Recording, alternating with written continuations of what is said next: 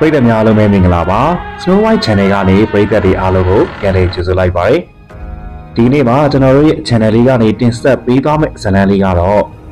ဇာရေးသူအကစောရေးသားထားတဲ့စုံတီကြီးဥပဒါနဲ့စုံဝိုင်ဆိုတဲ့ဇာတ်လမ်းလေးကိုတင်ဆက်ပေးသွားမှာပဲဖြစ်ပါတယ်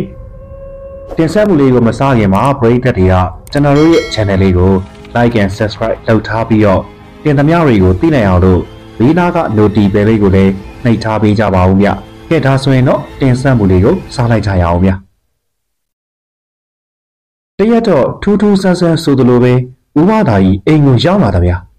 ။လက်ထဲမှာလည်းနွားတို့ထည့်ထားတဲ့ဇလုံကြီးကင်လို့ပေါ့။ကျုံးတဲ့ကိုကြီးကလည်းတောင်ရိုးပေါ်ကိုသွားဖို့ပြင်ဆင်နေကြတဲ့အချိန်များ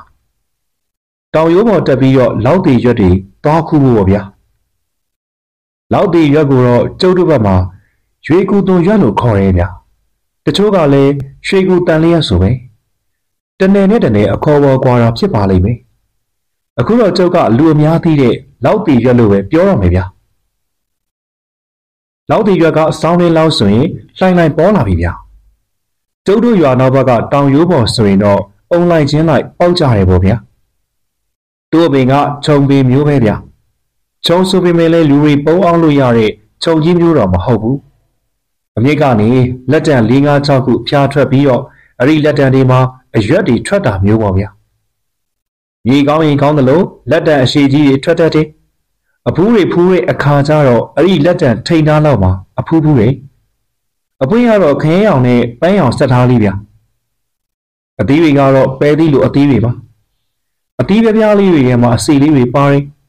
အစီတွေရင့်သွားရင်တော့အသီးတွေကွဲထွက်သွားတတ်တယ်ဗျာ ဒီလိုစိတ်လေးတွေကမြေထဲကျနေပြီးတော့အပင်ပေါက်လာတာပါပဲဗျာလောက်ဒီမှာလည်းအဖို့မရှိရလို့ပြောကြသေးတယ်။ဘန်းရောက်ဘက်တန်းနဲ့အပွဲပွဲနာကအမပင်ခရဲရောင်လိုအယောင်ရင်းရင်းနဲ့ဆိုရင်တော့အဖို့ပင်နဲ့ဗျာ။နောက်ပြီးတော့လောက်ဒီပင်မှာအနီရောအနက်မျိုးတို့လည်းရှိသေးရဲ့ဆိုပဲ။လောက်ဒီဒီကအရွက်ဒီအနီဆက်ဆက်ထွက်တယ်ဆိုပဲဗျာ။လောက်ဒီနက်ကတော့အရွက်ကိုလှန်ကြည့်ရင်အလဲရိုးမှာအနက်ရောင်မြင်းချောင်းလေးပါတယ်ဆိုပဲ။ လောက်တည်ရွက်အဖိုးဖြစ်ဖြစ်အမားဖြစ်ဖြစ်အနီးဖြစ်ဖြစ်အနက်ဖြစ်ဖြစ်ကျုပ်တို့အညာသားတွေနဲ့တွေ့ရင်တော့ရင်းနှီးချမ်းဖြစ်တာပါပဲဗျာဥပဒါကြီးခြံထဲဝင်လာတော့အဖေကလှမ်းကြည့်ပြီးတော့ဟာဥပဒါပါလားဘယ်ကနေဘလို့လှည့်လာတာလဲဗျာကျုပ်အိမ်ကနမကနှိုစားကြနေလို့ဗျာအဲ့ဒါနှုတ်ဦးဖျားကိုတကြီးကိုလာတိုက်တာနှုတ်ဦးထွက်ရင်တကြီးအတွက်ဆိုတဲ့စကားတော်ရှိသေးရမလားပြပါတယ်ဗျာ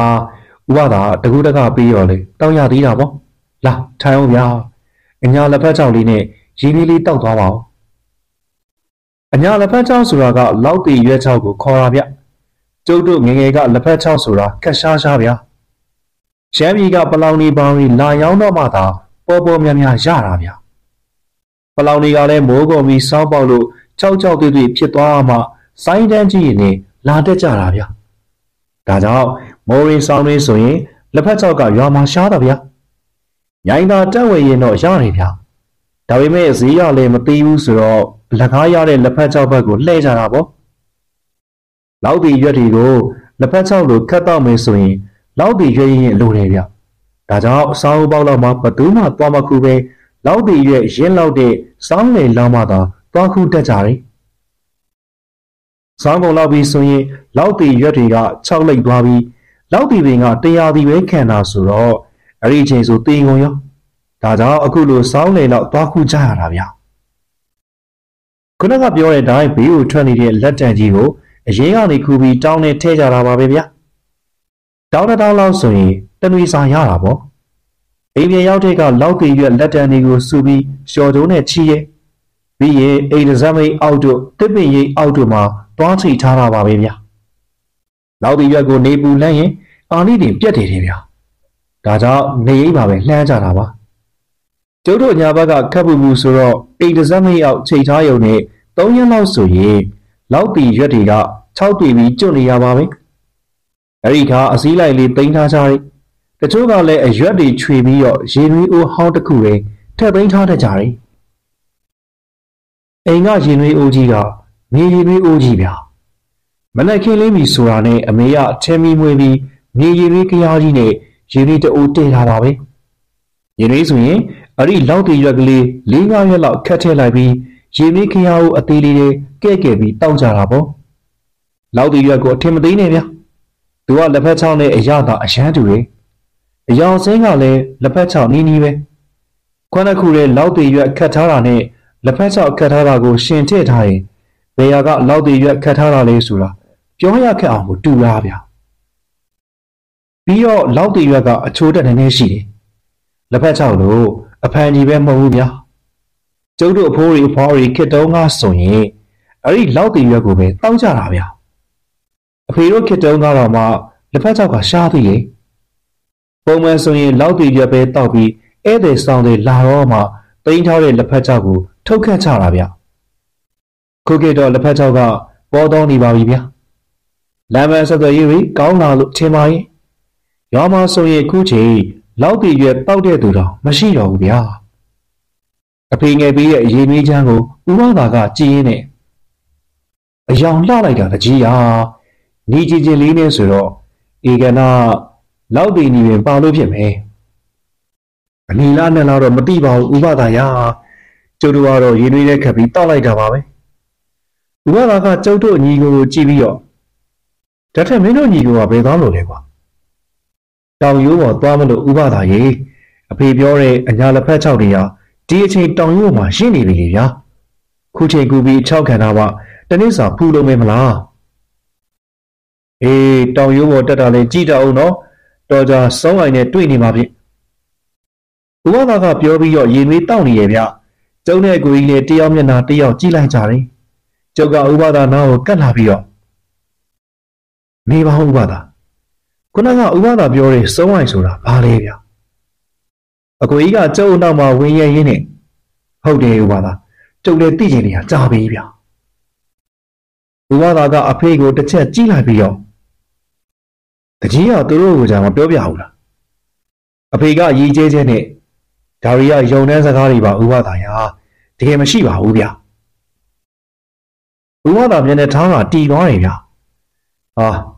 ဒါဆိုရင်တကြီးကစုံးဝိုင်ကိစ္စမယုံပေါ့ကျုပ်တို့ငငယ်ကကြားဘူးတာပဲဗျာပြီးတော့ယုံနိုင်စရာမှမရှိရပဲဒီနောက်ဘက်တောင်ရိုးပေါ်မှာစုံးဝိုင်တာတကယ်ရှိရင်တခြားသူတွေမပြောနဲ့ကျုပ်တို့အိမ်ကကောင်းနေနဲ့တွေ့ရကြာပေါ့ဗျာတောင်ရိုးပေါ်မှာဒီကောင်လေးချီရရီကြီးပဲမဟုတ်လားဥပဒါရဲ့ဟုတ်တာတော့ဟုတ်တယ်တကြီးရေဒါပေမဲ့စုံးဝိုင်ဆိုတာကလည်းလူဝင်ရှာရိုးမရှိပဲရှောက်ပြောနေတာမဟုတ်ဘူးဗျာ ဥပဒါစကားကကျုပ်တို့ကိုပို့ပြီးတော့ပြီးကျင်စေရဲ့ဗျာပြောပြပါဦးဥပဒါယာယုံနာမယုံနာနောက်ထား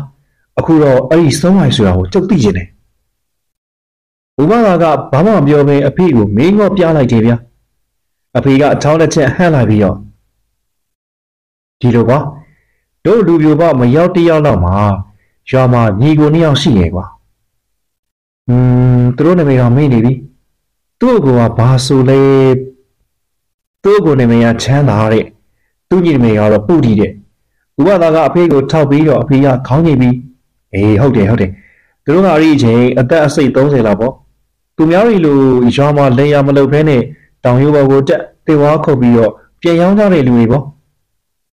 ဘေးရလဲဗျာတောင်ရိုးပေါ်မှာတစ်ကောင်းဝါကောင်းမှာမရှိရပဲအဲ့ဒီချိန်တုန်းကရှိရဲ့ကွာပြီးတော့တောင်ရိုးပေါ်ကနေဆက်သွားရင်းနဲ့ အနောက်ဘက်တောင်မာကြီးကိုတက်တဲ့အခါတစ်တွေဝါတွေကောင်းကောင်းရှိရမလားလက်ကောင်ကလေကွာစကားကိုဖြစ်ဖြစ်မပြောစမ်းပါနဲ့ကွာပြောပါအောင်ဖေဟာအဲ့ဒီချမ်းသာတို့ညီကိုကတောင်ရိုးပေါ်ကိုနွားလေးနဲ့တက်ပြီးတက်ခုတ်ကြတယ်တစ်တခါခုတ်ရင်လေးကားရဲ့တစ်ပတ်လောက်တော့ကြားတယ်ကွာတခါတော့တိတ်ခုတ်တက်သွားပြီးတော့ချမ်းသာတယောက်တည်းပြန်လာတယ်လဲလဲမပါဘူးနွားတွေလည်းမပါတော့ဘူးကွာပူဆိုးတာကသူ့ညီပုတ်တီလည်းမပါတာပဲ ချမ်းသာတော်မှကြောင်တော်တော်နဲ့ရွာကိုပြန်ရောက်လာတာရွာလူတွေမေးကြည့်တော့မှချမ်းသာပြောပြတယ်တောင်ရိုးပေါ်သွားရင်တနေရာရောက်တော့ရေအိုင်လေးတအိုင်တွေ့ရဆိုပဲကွာရေအိုင်ကကြောက်ွက်ထဲမှာဂလိုင်းပေါက်ပြီးဖြစ်နေတဲ့ရေအိုင်ဆိုပဲကွာကြည်ပြီးစိမ့်နေတာနဲ့သူတို့တွေအဲ့ဒီရေအိုင်နားမှာပဲစကန်းချလိုက်ကြတယ်ဆိုပဲညရောက်တော့ရေတွေကပုတ်ဆုံကြီးညံလာနေဆိုတာပဲကွာချမ်းသာအိန္ဒိယကနေနိုးလာတော့ သူ့ညီပုတီလည်းမရှိရောသူလိုက်ရှာတော့မှရေအိုင်ထဲကိုနွားရီရောသူ့ညီပါဆင်းသွားရတယ်ကွာဆေးနဲ့ရေအိုင်အလေလောက်ရောက်တော့မှရေကြီးကတဘုံဘုံနဲ့အတန်ကြီးမြင်ရတာပဲဒီတော့မှသူ့ညီလေအောင်နွားရီလည်းអော်တာပေါ့អော်ရင်းနဲ့ပဲရေအိုင်ထဲကိုအကုန်နစ်သွားကြတဲ့ကွာကျန်တာကလည်းကြောက်ကြောက်နဲ့ပြန်လှည့်ပြီးရောကိုရောက်လာရင်စူပါတော့ဟာဒူးဆန်းလိုက်တာအဖေယာ ဒါဆိုအဲ့ဒီချမ်းသာရောဘာဖြစ်သွားလဲဗျချမ်းသာလည်းတိတ်မကြောက်ရွာနေပျောက်သွားတာပဲသူများတွေပြောတာကတော့ရွာမပျောက်ခင်မှာ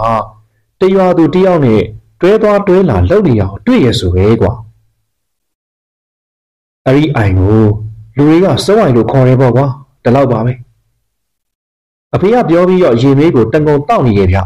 ကျုပ်ကအဖေကိုတေချာကြီးနဲ့ဒီအဖြစ်ကိုအဖေဘယ်လိုမြင်လဲဗျ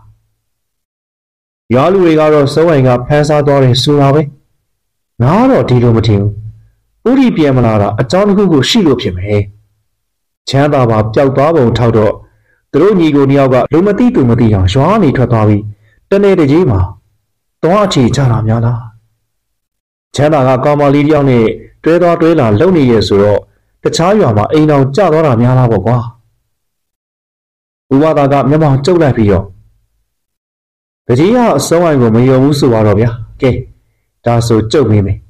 ဒီရွာမှာလည်းအကောင်းတိုင်းနေနိုင်တဲ့ချမ်းသာတို့ညီအကိုကပါရိစဒီရွာကနေလူမသိသူမသိထွက်သွားပါလေဒါတစ်ချက်နောက်တစ်ချက်ကချမ်းသာကစုံအိုင်နဲ့မတွေးခဲ့ဘူးဆိုရင်သူဘာဖြစ်လို့သေးတယ်ပြက်ပြီးယူးကြောင်ကြောင်ဖြစ်သွားတာလဲဒါတစ်ချက်တော့တကြီးချမ်းသာကိုပီတော့ရွာကစေးစရာကြီးကုပေးမှလူမန်းသူမန်းပြန်သိလာတာမလား ဥပမာမေးကိုဖေကမေးစေးပူရင်ခေါင်းညိတ်တယ်ဗျာဒါတော့ဗျာသူတို့နောက်မှာပြောပြလို့မရတဲ့အမှုတစ်ခုခုရှိနေမှာပေါ့ကျုပ်ကတော့ဖြင့်အဲ့ဒီတောင်ရုံးမှာစုံးဝိုင်ရှိရဆိုတော့မယုံပါဘူးဗျာဒါချမ်းသာထွင်သွားတဲ့ထွင်လုံးသက်သက်ပါတကြီးကမယုံဘူးဗျာစုံးဝိုင်ဆိုတာတကယ်ရှိရတကြီးညီချမ်းတဲ့နေရာဆိုရင်ညီဆုံးခေါ်တယ်လို့အချောင်းနဲ့ကျန်းနဲ့တစ်ဆိုရင်လေတစ်ဆုံးခေါ်တယ်မလား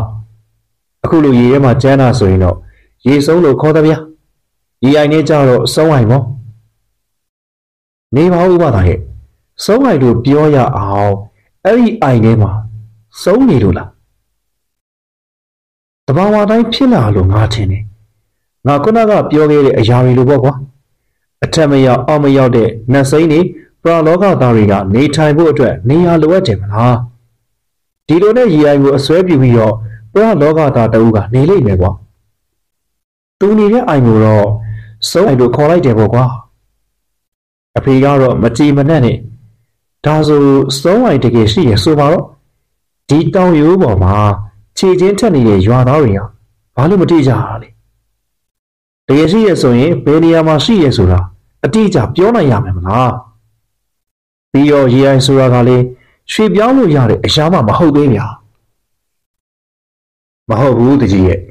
စုံးအိုင်ဆိုတာမျိုးကနေရာနဲ့ပြောင်းသွားနေရဗျအချိန်ကကြားတဲ့အခါမှသာမြင်တွေ့ကြတာနောက်ပြီးတော့မြင်တွေ့လိုက်ပြီးဆိုရင်လေအဲ့ဒီလူဖြစ်ဖြစ်တရိษံဖြစ်ဖြစ်အသက်ရှင်ဖို့မလွယ်ဘူးဗျာတကယ်သာရှိရင်မြင်ဘူးခြင်းလေဗျာ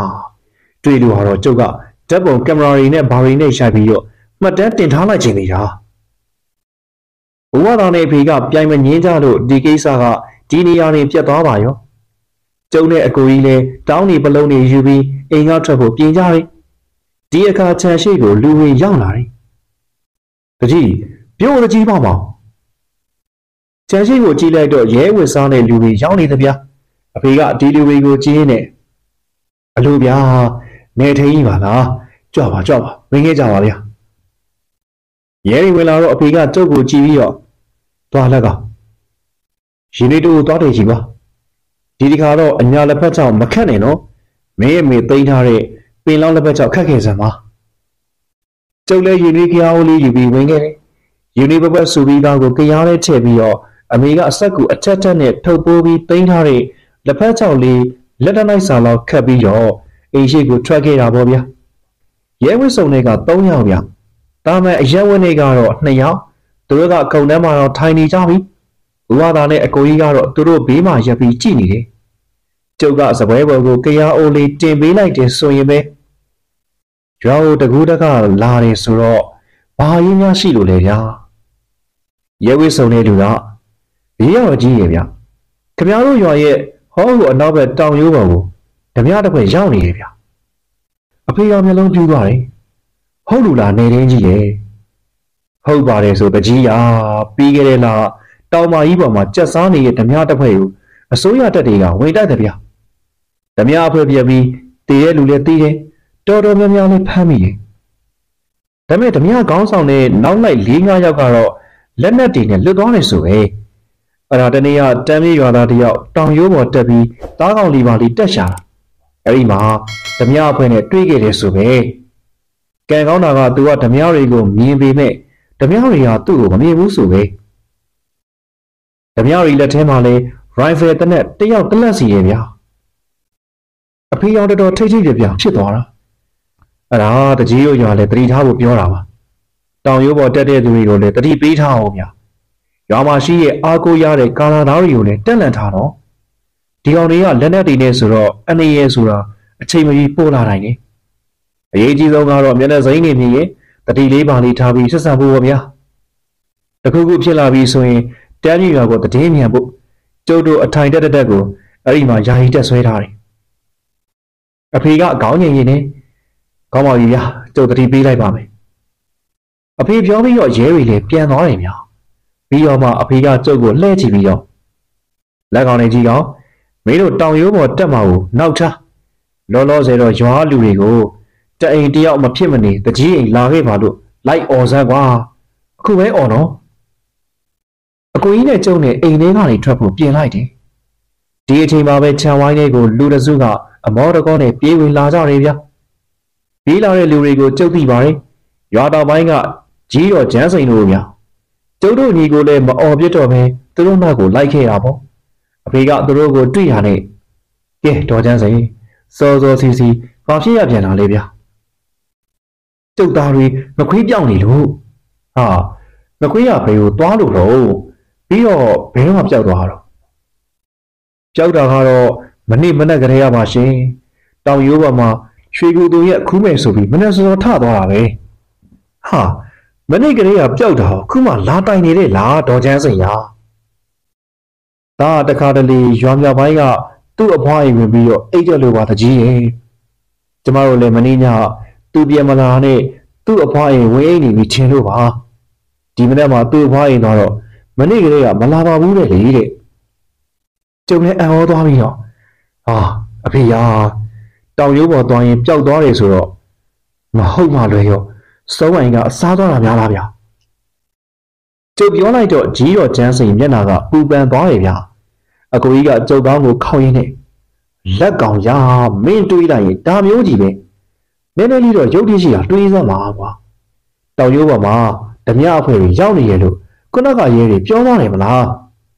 ငါအထင်တော့ငခွေးရဓမြတွေနဲ့ပတ်ပင်းတိုးသွားတာဖြစ်မယ်ရှင်ဓမြဓမြရလားတကြီးအဖေကတပြင်းတစ်ချက်ချပြီးခေါင်းကြီးပြလိုက်တယ်ဆိုရင်ပဲကြီးတော်ကျန်းစိန်တယောက်ရင်ဘက်စီတီးပြီးငိုးတော့တာပဲဗျာငိုမလီစမ်းမာနဲ့တော်ကျန်းစိန်ရာကျုပ်တို့ရှာပေးပါမယ်ဟာဘေးတောင်ရိုးမှာဓမြတွေရှိလဲဆိုပဲနော် ကျုပ်တို့ကြီးသွားလို့အဆင်ပြေပါမလားအကိုကြီးဝင်ထောက်တော့အဖေကလည်းခေါင်းကြီးတယ်ဗျာရဲရီခေါ်ရအောင်ကလည်းဓမြနဲ့တွေ့တာမဟုတ်တဲ့အောင်ပြောနိုင်သေးဘူးမလားမခွေးရငါတို့ရွာသားဆိုတော့ကျိုးရီမရှာပေးလို့လည်းမကောင်းဘူးမလားဒါဆိုဘယ်လိုလုပ်မလဲဖေ။ငါတို့ကာလာသားတွေစုပြီးတော့လူနဲ့နဲ့ခက်ကြဲကြဲရှာကြမယ်ကွာ။ဓမြတွေနဲ့မတွေ့ရအောင်တော့အတက်နိုင်ဆုံးစုတောင်းရမှာပဲ။ ရှာရှာပြီးသားပါတကြီးရဲ့ကျမအားကိုးပါနဲ့ရှင်။မပူပါနဲ့တော်ချမ်းစိန်ကျုပ်တို့တရင်ကောင်းယူလာမှာပါဗျာ။ဒါနဲ့ပဲကခွေးကိုရှာဖို့လူတွေစုရတော့တယ်။ပိတ်တော့မများပါဘူးဗျာ။မရောက်တဲ့တွဲနဲ့အစရောက်တော့ပါပဲ။တောင်ရိုးဘော်ကိုတကယ်ကြွကြွတင်တင်သွာလာတက်တဲ့သူတွေကိုစုထားတာဗျကျုပ်နဲ့အကိုကြီးကတော့တရွဲပေါ့အဖေနဲ့ဥပဒါကလည်းတရွဲပေါ့မကြပါဘူးကျုပ်တို့တွေလူစုပြီးရနဲ့ တောင်ရိုးဘက်ကိုထွက်ခဲ့ပါရောဗျအကိုကြီးနဲ့ကျုပ်ကလူငယ်တွေလဲလူငယ်တွေတောင်ရိုးဘော်ကိုလည်းထုံးလို့ချီရေလိုနောက်အောင်ကျွမ်းတာမလို့လူတွေတိတ်မသွားတဲ့မတ်ဆောက်တဲ့တောင်ကြားဘက်ကိုဦးတည်ခဲ့ကြတယ်ဗျာဓမြရီရံကလည်းရှိသေးရဲ့ဆိုတော့မျက်စိကိုရှင်းရှင်းနားကိုလင်းလင်းထားရတယ်ဗျာအရင်တော့ကလိုလူတွေအများကြီးနဲ့ရှာတာမဟုတ်လေတော့တိတ်ပြီးတော့မအော်ရဲဘူးပေါ့ဗျာရှာရင်းနဲ့တောင်ကြိုင်ကြားကိုရောက်လာတယ်ဗျာမောလိုက်တာလည်းပြောမနေပါနဲ့ ဒီအချိန်အကိုကြီးကအရှိကိုသွားနေရင်ခြေလမ်းနေတုတ်မနေရက်သွားတယ်ဗျာလက်ကောင်ကြီးဟိုမကြီးတဲ့စမ်းရည်အားလေးတအိုင်ကွာဟုတ်တော့ဟုတ်တယ်ဗျာတိပိနေကြားထဲမှာရေအိုင်လေးတအိုင်ဖြစ်နေတယ်ရေဝီကလည်းကြီးလင်းနေပြီးတော့မှန်သားတစ်ချက်လိုပဲဗျာဆယ်ပေပတ်လည်နီးပါးတော့ရှိမယ်ဗျာအကိုကြီးကရေအိုင်စီသွားမယ်လို့တော့ကျုပ်ကအကိုကြီးကိုလှမ်းဆွဲထားရသေးတယ်ဗျာနေပါဦးအကိုကြီးဟာတော်ကြာစုံးအောင်ဖြစ်နေပါပဲ ကျုပ်ပြောတော့အကိုကြီးကအကြီးကျယ်ကျယ်နေအမလေးအလက်ကောင်ရမင်းကလည်းပူတတ်ရံပေါ့ဥပဒါပြောရဲ့မဟုတ်ကဟုတ်ကတွေကိုယုံနေပါနဲ့ကွာစုံးအောင်ဆိုတာတကယ်မရှိပါဘူးကွာအကိုကြီးကရေအိုင်သားကိုကတ်သွားတဲ့အချိန်မှာကျုပ်နှာခေါင်းနဲ့အပုပ်နံကြီးရလိုက်ကြဗျာတော်တော်ကိုညှိညှိဟောက်ဟောက်ပုတ်နေတဲ့အနံ့များကျုပ်လေးနှာခေါင်းရှုံရင်းနဲ့အကိုကြီးပုတ်စုံနံလိုက်တာဗျာအေးကွာဘာကောင်တီးပြီးပုတ်နေလဲမသိဘူး အကိုကြီးကရေအိုင်နဲ့၃လေးလမ်းအလိုမှာအတန်ကြီးတန်ထွက်လာတာဗျာဖျောင်းလေးရလိုက်ကြစမ်းအနောက်ကိုလှည့်ကြည့်လိုက်တော့ဥဝဘာကြီးဖြစ်နေတယ်မင်းတို့ကောင်တွေဆက်ဆက်ဆက်ဆက်ကွာအိုင်တွေတိုင်းခြေစည်းလို့လားကွာခြေတော့မစည်းပါဘူးဥပဒါယာဒါပေမဲ့တမနက်လုံးတောတိုးနေရတော့လူကညစ်ပတ်ပြီးနှုံးချိနေပြီလက်ကလေးပါလေးဆေးပြီးမျက်နှာလေးပါလေးတစ်မှာပေါ့ဗျာအကိုကြီးကပြန်ပြောတယ်ဗျာဥပဒါကအရှိကိုတိုးလာပြီးတော့ မပြောမယ်ကြီးတော့ဒီအိုင်ကိုတေချာကြီးစမ်းကွာတိပင်ကြီးကြားထဲမှာရေအိုင်လေးဖြစ်နေပြီမဲ့ရေမျက်နှာပြင်မှာတည့်ရ6တရွက်အမိုက်တစ်ဖက်တောင်မရှိဘူးမလားဘုရားသာပြောတော့မှကြုံတဲ့တတိထားကြည့်မိရဲ့ဗျာရေကန်ပပတ်လေးမှာမြေကပြောင်ပြောင်လေးဖြစ်နေတာဗျာဥပဒါပြောသလိုအမိုက်တစားတော့မရှိဘူးဗျာပြီးတော့တောတွေကရေအိုင်ဆိုတဲ့အတွက်တောကောင်တွေရေတောက်ထားတဲ့ခြေရလက်ရတွေဘာတွေကြံနေမှာမဟုတ်လား အခုတော့ဘာမှမရှိတာမထူးဆန်းဘူးလားကွာဒီတော့မှအကိုကြီးလေးရက်သွားတော့တယ်ဗျာကျုပ်တို့ရေကန်ကိုကြည့်နေရင်ရေကန်ကရေတွေတဖြည်းဖြည်းလှုပ်လာတာဗျာနောက်တော့ရေတွေကကတော့ထိုးပြီးဝဲကရကြီးတစ်ခုလိုလဲနေပါရောမကြပါဘူးအဲဒီရေကန်တွေကဝစ်လစ်စလစ်နဲ့မိန်းမတယောက်တက်လာတယ်ဗျာရေစုံနေတဲ့စပင်းတွေကမျက်နှာကိုအုပ်နေတော့ဘယ်သူဘယ်ဝမှန်းတော့မမြင်ရဘူးဗျာအဲဒီမိန်းမကအကိုကြီးကိုကြည့်ပြီးတော့လက်ရက်ခေါ်ရဲဗျာ လာလာငါစီကိုလာအကူကြီးမျက်လုံးကြီးတွေကပြူးကြောင်သွားပြီးတော့အရှိကိုတဖြည်းဖြည်းချင်းတိုးသွားတယ်ဗျ။ကျုပ်လည်းအကူကြီးကိုပြေးဆွဲရတာပေါ့။ကိုကြီးဘယ်ကောင်းလို့လဲ။အကူကြီးကကျုပ်ဆွဲထားတဲ့ဂျားလေးကအတင်းရုံးကန်ပြီးတော့သွားတာဗျ။ကျုပ်လက်နှစ်ဖက်နဲ့အတင်းဆွဲထားရတယ်။ဒီအချိန်ဘာရမို့ပဲကျုပ်ကအဲ့ဒီမိန်းမရဲ့မျက်နှာကိုကြည့်လိုက်မိတယ်။သပင်ကြီးတွေအုပ်ထားတဲ့မျက်နှာမှာမျက်လုံးကြီးနှစ်ခုပါသဗျာ။ အဲ့ဒီမျက်လုံးကြီးကိုကြည့်မိပြီးတော့ကျုပ်စိတ်တွေဘလို့ဖြစ်သွားလဲကိုမသိပါဘူး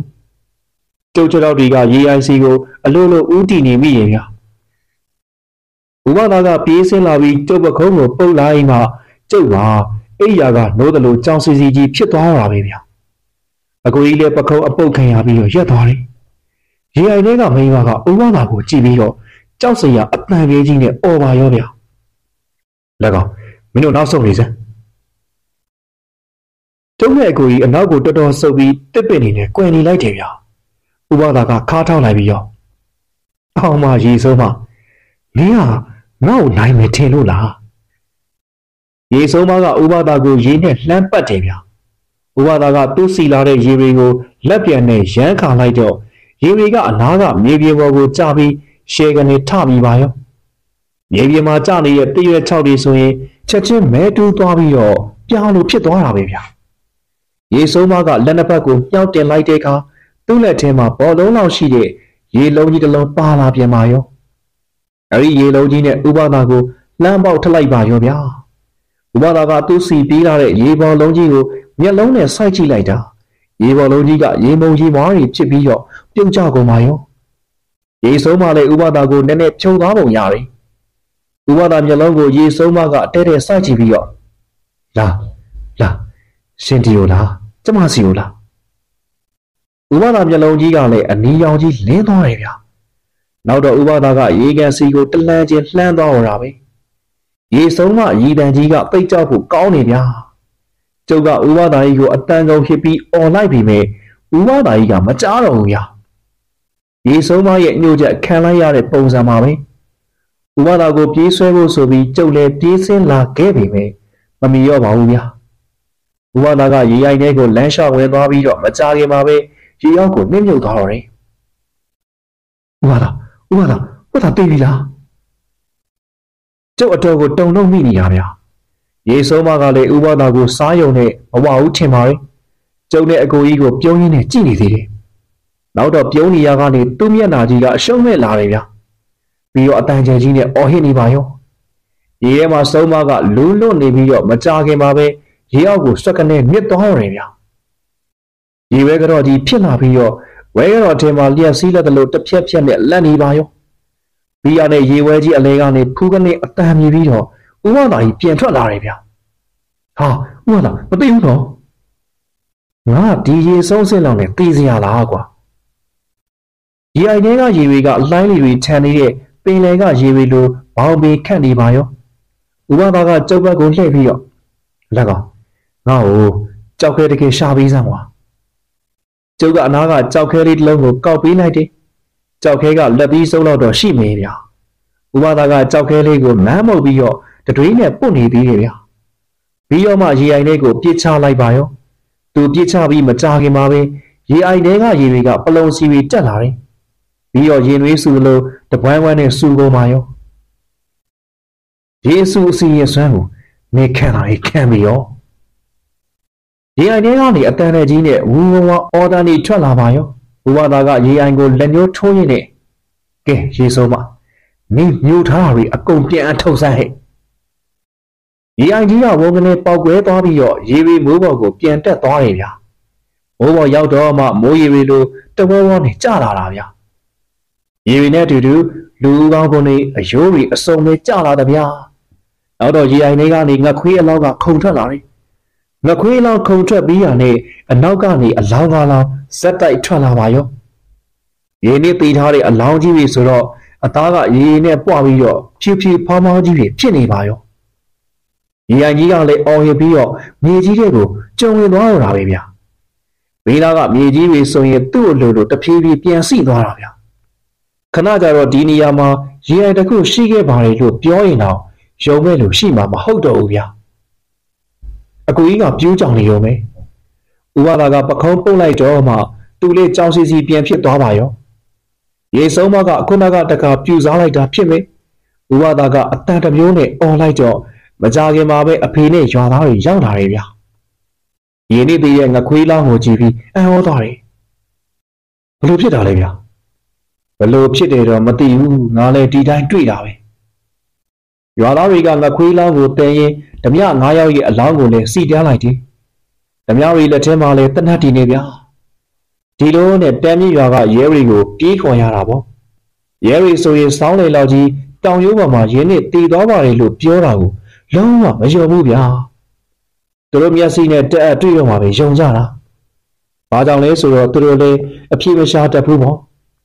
ဘာပဲပြောပြောဓမြမှုလည်းပြီးသွားပြီဓမြအလောင်းတွေကိုလည်းလက်နက်တွေနဲ့အတူတူတွေးပြီးမလို့ ရဲရီကအမှတ်တမ်းမှတ်ရတင်ပြီးလက်နက်တွေသိမ်းကပြန်သွားကြပါရောဓမြငါးလောင်းနဲ့ငခွေးအလောင်းကိုတော့ကျုပ်တို့ရွာကတုတ်တံမှာပဲနေချင်းပြီးတကြိုလိုက်ကြပါတယ်တော်ချမ်းစိန်ဆိုရင်ငိုလိုက်တံမှာပြောမနေပါနဲ့တော့ဗျာငခွေးဆိုတာကလည်းအရွယ်ကောင်းလေးကိုဗျ15နှစ်သားပဲရှိသေးတာအဲ့ဒီနေ့ကကျုပ်တို့ရက်မှာကြီးပေါ်တီးပေါ်ပေါ်တွေအညာလက်ဖက်ချောက်တွေကတော်တော်ရှားသွားတယ်လို့ပြောရင်ယုံကြမလားဗျာ တောင်ရိုးပေါ်မှာငခွေးတည်းရဆိုတဲ့တည်င်းကြတော့ရွာလူတွေတောင်ရိုးပေါ်မှာမသွားရဲကြတော့တာဗျာဒီရောအညာလက်ဖက်ချောက်လေးရှားပြီပေါ့ကျုပ်တို့အိမ်မှာတော့မှတနေ့ကကြမ်းတဲ့အကက်အသက်လေးခြေတောက်နေရတော့တာတပတ်လောက်နေတော့ဥပဒါကနွားလို့စလုံးကြီးကင်ပြီးအိမ်ရောက်လာပါရောအဖေကတော့ထုံးစံတိုင်းပဲဥပဒါလာဗျာထိုင်ပါဦးအညာကော်ဖီလေးသုံးဆောင်သွားပါဦးဥပဒါကမျက်ခုံးပင့်လိုက်ပြီးတော့ အညာကော်ဖီရဲ့လားတကြီးဟာအဖေကရင်းရင်းနဲ့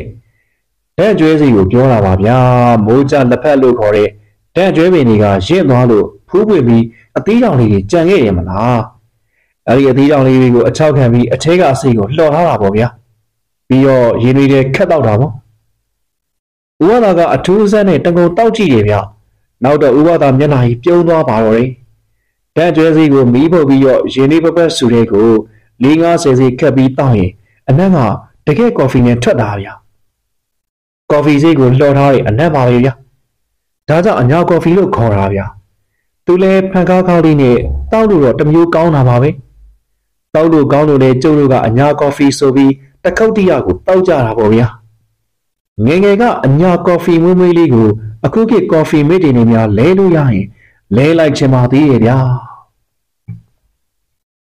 ပရိသတ်များခင်ဗျာအခုတင်ဆက်ပေးခဲ့တဲ့ဇာတ်လမ်းလေးကတော့စာရေးသူအက္ခစောရေးသားထားတဲ့စုံတီချီဥပဒါနဲ့စုံနိုင်ဆိုတဲ့ဇာတ်လမ်းလေးကိုတင်ဆက်ပေးတာပဲဖြစ်ပါတယ်ဒီကနေ့မှာတင်ဆက်ပေးခဲ့တဲ့ဇာတ်လမ်းလေးကိုပရိသတ်တွေကကြိုက်နေတတ်မယ်လို့ညွှန်လိုက်ပါတယ်ဗျနောက်နေ့နောက်ရက်ဒီမှာလည်းကျွန်တော်တို့ရဲ့ channel လေးကနေဒီလိုမျိုးစိတ်ဝင်စားစရာကောင်းတဲ့ဇာတ်လမ်းလေးတွေကိုတင်ဆက်ပေးတော့မှာပဲဖြစ်ပါတယ်နားဆင်ပေးခဲ့ကြတဲ့ပရိသတ်တဦးတယောက်ချင်းစီကိုလည်းအထူးပင်ကျေးဇူးတင်ရှိပါတယ်ဗျ ဒီကနေ့ရဲ့ဇာတ်လမ်းလေးကိုတင်ဆက်ပေးခဲ့တဲ့သူကတော့ကျွန်တော်ကိုခန့်ပဲဖြစ်ပါတယ်ခင်ဗျာ